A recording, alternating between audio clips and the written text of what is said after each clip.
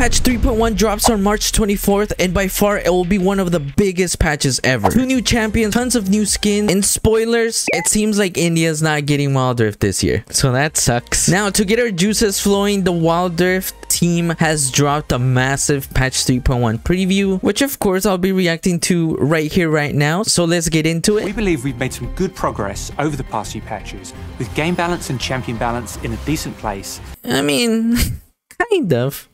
That said, we hear you and know that there are still issues with game fairness, including AFK and intentional feeding. So, okay, first things first here, let's pause for a bit because there's a few things here they said that are one, tilting and two, you know, makes me hopeful for the future. But basically, they're saying there's plans or they're building some sort of system that deals with AFKs and people who troll or intentionally feed better. But the thing that's important is that they acknowledge that it's happening, right? If, if they were ignoring it, that would be another issue, but they're acknowledging it. The problem is they really didn't say anything here. They just said, we feel you, we heard you, we're working on it. How are you working on it? What are you actually doing about it is missing. Now, they did mention one thing that's important though. They're working on giving us more visibility on our reports. In other words, you know, typically when you report someone and like they get punished, it, it literally just, it doesn't really tell you anything. It doesn't tell you like what the punishment actually was in a lot of ways. So hopefully they let us in on what they're actually doing to these people. We're still working on releasing into South Asia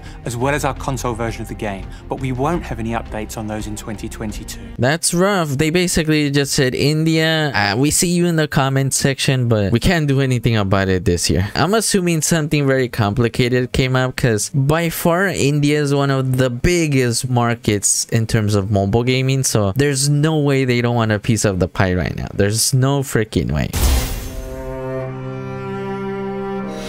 Elemental Rift is an evolution. Oh wait, wait, at the bottom it says content availability varies by region. Okay, what does that mean? Streamline changes.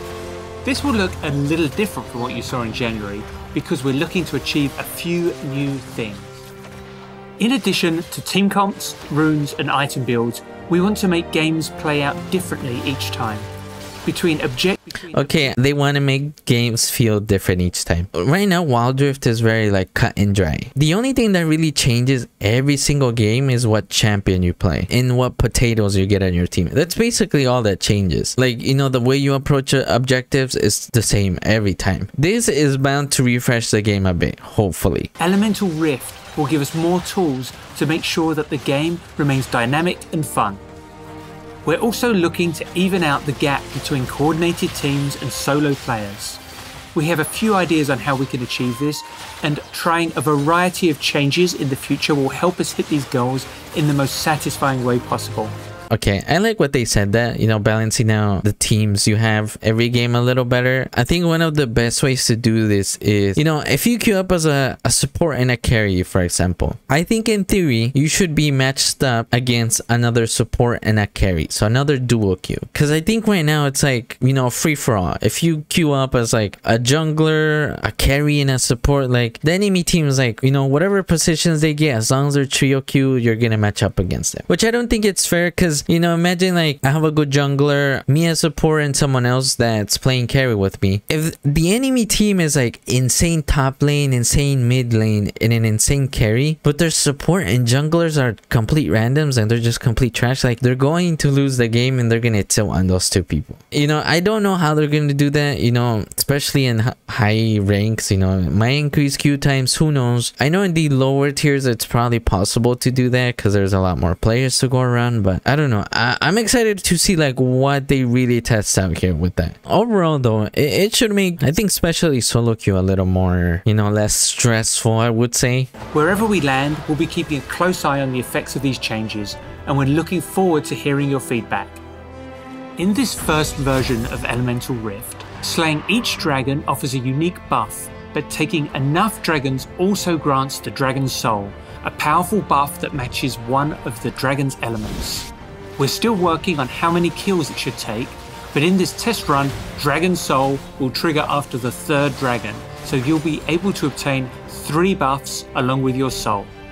Nice. Infernal Dragon now grants bonus attack damage and ability power, and the Infernal Soul creates explosions around your abilities and attacks, dealing bonus That's freaking damage nuts. and That's pretty good. Your target. Mountain Dragon increases your armor and magic resist, and the Mountain Soul grants a shield after not taking damage for a short while. Oh, I like that. I like that a lot, actually. I like this mountain dragon way better. Ocean Dragon restores health over time, and Ocean Soul restores more health when dealing damage to enemies. The first Oh, that's nice. are I like that. Then after that, all dragons will match the element of the rift. You'll Oh, always that's know cool. which Alright, keep in mind, first two are random. First so two are random. Fight for it, or trade a different objective if it doesn't fit your team comp. You might have noticed that we didn't cover one element.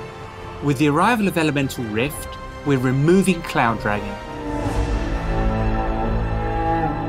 I don't know. I, th- I think Cloud Dragon, you know, they could have made it work, but what is that? Five dragons would have been a little too much because you got, yeah, it would have been a little too much, I think. You'll also see that dragons, Rift Herald, and Barons spawn later in the game, and dragons will be a bit easier to take. By building more time into objective spawns, we're hoping to strike a better balance between team performance and individual play. Players will have more options to choose how they want to play the early game rather than needing to rush the objective right away. I think one of the problems I have right now with Wild Rift is that like the laning phase isn't as long as I liked it to be. It's basically like once you hit what four minutes, it's basically a free for all. Like get as many objectives as you can. If you don't TP before this time, like then they're gonna ping you to death because you're trash and you know you should have been there for the objective and stuff like that. Like people literally die for dragons. They will like 50 50 every single dragon instead of like trading an objective or something. So hopefully these changes help people understand, you know, how to manage around the game a little better. On top of, you know, making the game a little more refreshing overall. We've also totally revamped Elder Dragon, making it much closer to its League PC Nice. kin. After the Dragon Soul has been taken by a team, Elder Dragons will be up for grabs, offering a game ending, true damage burn effect and executing enemies when they drop to low health. If your team picks up Elder, it's time to fight. After the second dragon is slain in each Oh my god, did you guys see that? What the heck? She still had quite a lot of health, honestly. There's also that like Elder Dragon animation on Jinx too when she gets the kill. The Infernal Rift burns away brush and opens new pathways to red and blue buff. This can offer an advantage to the winning team for deep warding and aggressive invades, but also means the path back to your base is much shorter.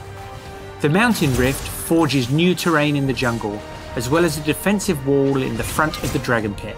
This rift offers new flanking routes and ways to force your opponents into a bottleneck for an AoE explosion. The Ocean Rift spawns more brush across the map with bumper crops of honeyfruit. Use the brushes for surprise ambushes, or just put on some rainy lo-fi beats and heal up for the next fight. with a lot of these dragons, what you'll notice is that sometimes it's like, you know, you get lucky because sometimes their champs benefit from like whatever the map changes to so much. Like, for example, imagine you have like a full on AoE or like a team come that wants to fight in choke points. Like, the mountain is your dragon. Overall, it's gonna be really fun to like really, you know, put your mind into it and figure out like what to do. We'll be testing this rift during limited time windows in a totally separate queue during patches 3.1 and 3.2. This will allow us to monitor and make adjustments before it replaces the existing Wild Rift map fully in our preseason in patch 3.3 later this year. Oh man, so this isn't gonna be in ranked yet. It's gonna be like you're gonna have a window of time to try it out, but it's gonna be a completely separate queue. So yeah, we're gonna have to get some, uh, you know, some videos going. That's what it sounds like. All right, let's get into the champions here.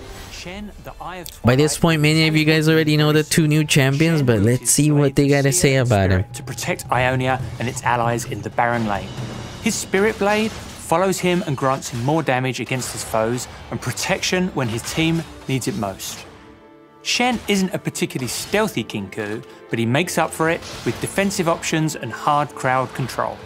Slide on into the enemy team to Alright, so overall, honestly, from what I'm seeing here, it's basically going to be very similar to what you see on PC, but the one that is receiving a whole bunch of changes is Karma.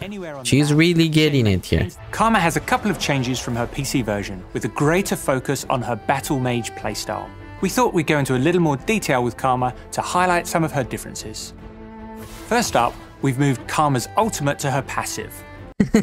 Such a League of Legends dev thing to do, you know? We're just moving this thing that is typically an ultimate and we're making it her passive. So good luck playing against her. Every spell Karma casts, she gains a stack of mantra, and at three stacks, her next ability is empowered. Inner Flame fires a blast of energy, dealing damage and slowing enemies.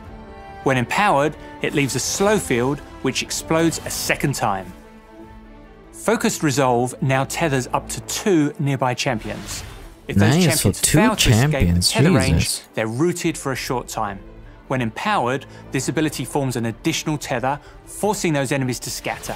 If any of the tethers aren't broken in time, the enemies get a mega root for a longer period. Quote, mega root. That's their way of saying like, good luck playing against this. Basically like Lex, Morgana, and a whole bunch of other champions combined. Karma's third ability, Inspire, grants an ally a shield that offers movement speed. Under the effect of Mantra, the shield could empower an additional nearby ally. Ooh, so two people get the Karma's shield. I like that. It's pretty good. Transcendent Embrace, forms a ring of spirit energy, dealing damage, slowing, and knocking enemies into the center if they're caught on the edge. Oh my god, it's basically Diana's ultimate. That's pretty nuts.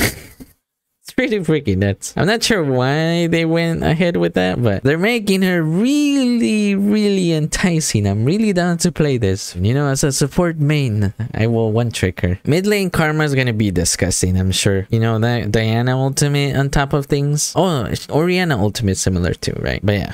We'll see how it plays out. I'm ready for the toxicity. Later this year, we'll be revisiting some battle scarred locations in Runeterra.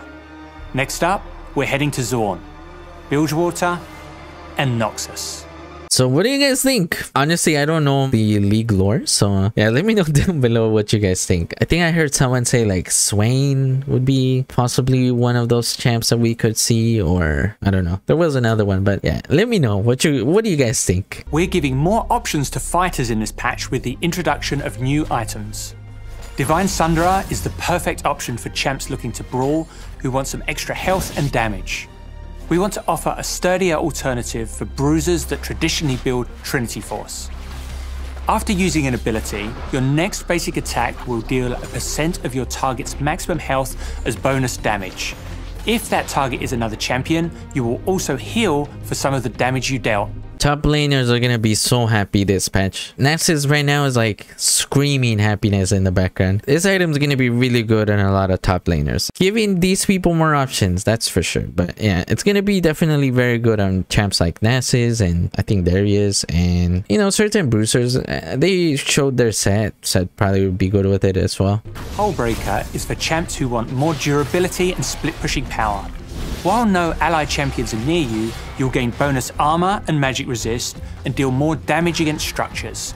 You'll also give a mini boost to nearby minions so they can keep you company on your split pushing journey. That's pretty nuts. Like, tell me that doesn't sound pretty OP. I, I think this item's like the one a lot of people are talking about on PC. It's somewhat new, I think. Um, and it's basically like the split pushing item. That's what they're calling it. So good luck against these split pushing menaces, because they're they're probably gonna get this. Fimbulwinter will be more closely aligned with its PC version, offering its trademark shield on slows as well as hard crowd control. Death's Dance is becoming an AD and armor item, as we felt that there were too many unimpactful choices offered by the AD and health items in Wild Rift. Fulfilling its original intended purpose, we're reworking Solari Chargeblade passive to make it more appealing to monks. Hextech Mega what- Drive is getting what? They didn't say what- how they're changing the passive. What? Like Morgana or Alistar. Pulling off the perfect CC chain could mean you get to cast your active item multiple times in a fight. Alright, so Hextech Mega Drive, it's pretty much an item nobody uses to be completely honest. It basically like lowers the cooldown of your actives. But you know, as a support main, I really tested it out, tried using it a lot, and it just, it didn't really feel worth buying. So hopefully here with this change they're making to it, you know, it's more appealing. We know supports have needed more love for a while, so in this update, we're rebalancing support summoner spells to give players more active options in the laning phase and in teamfights.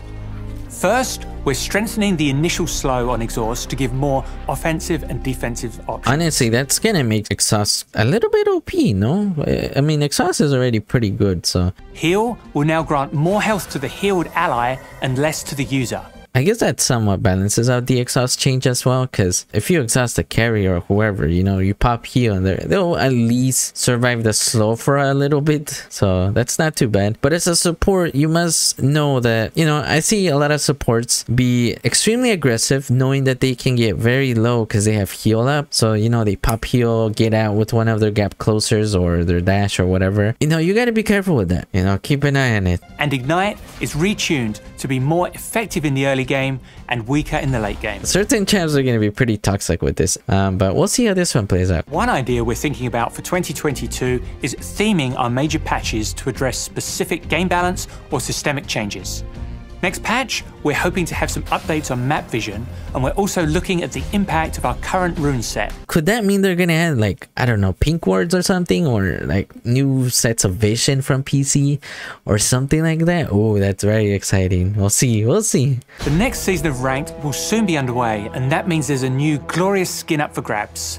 Just make sure she doesn't grab you first. I, I'm not a big fan of Evelynn, You know, don't unsubscribe because I, I said that. But yeah, I mean, it's a good looking skin, honestly. With our explorations coming to an end, many mysteries are still left unsolved. Thankfully, we've hired some private expertise as psychic detective Senna is on the case and making her debut in this Wild Pass just in time to help us get to the bottom of this mind-bending world. Oh, Senna skin. Honestly, I'm a big fan of the High Noon skin though, so as a support main, I must say this is a B tier skin, unfortunately. In Champ Select, if you're in the jungle, you'll now automatically be assigned Smite. Oh my god, thank the lord. We're introducing the News tab. Patch notes, game news, community events, Esports and videos are now easily accessible through the app. Oh, new tab. I like that. I mean, honestly, I'm not surprised. I've played in the China uh, server and this new tab is like old news for them. This is like, come on. It's good though. I like it. As we mentioned in January, we're going to be running more events this year with less downtime between each one. But part of that is going to be varying the types of events we run and experimenting with different ways to play. To give you a taste of what's happening later this year in Wild Rift, we'll be revisiting High Noon, Pool Party, Pulsefire, and maybe even further beyond, further beyond, further beyond, further beyond. Sorry, I got distracted. Our biggest focuses this year will be on our shared moments with League PC, like Lunar New Year. We'll collaborate a few times a year on huge, unforgettable moments with new skins, stories, and more. Those larger events will stay under wraps for now. Now, let's get back to it and showcase some of the skins headed your way in patch 3.1.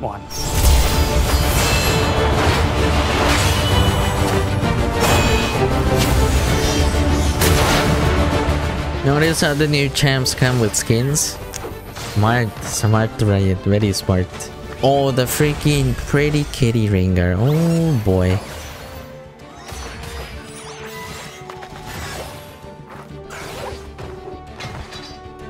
Renekton Toy. I like that skin, but frick, man. I'm honestly, I'm really aiming for like. I really aim to get skins I know I'm gonna use. So yeah, I'm probably gonna get this Ezreal skin though. I like that. And of course, Ezreal always comes with a Lux skin. Duh. Alright, you guys are gonna get some couple gameplays from the bot lane coming your way very soon here. Not bad. Graves and Brand getting skins there at the end as well. Not bad. So that is all for this patch preview. What do you guys think of that? You know, overall, pretty excited for the new items. Yeah, super excited for that. But by far, the biggest thing I'm excited for is Karma and the new Elemental Dragon. That's gonna be pretty OP. Other than that, thank you guys so much for watching. If you guys haven't yet, join my Discord server. Trying to revive it. We're giving it CPR right now, so come help me with that.